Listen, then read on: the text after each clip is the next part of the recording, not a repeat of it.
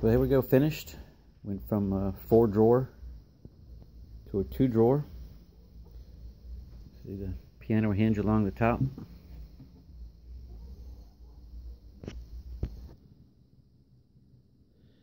So here we have it all finished. Went from a four drawer, turned it into a two drawer for where we're going to use it. Put the lid on a hinge. Piano hinge across the back.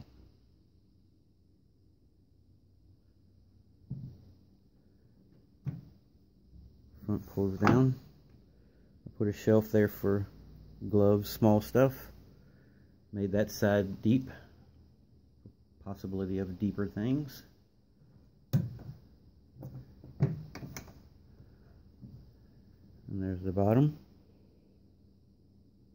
So pull out, put stuff on, slide it back in. Close it back up. Turned out really good. I think I'm going to leave the natural look of the wood versus the old stained. Probably rub it down with a linseed oil or something like that, but turned out really nice.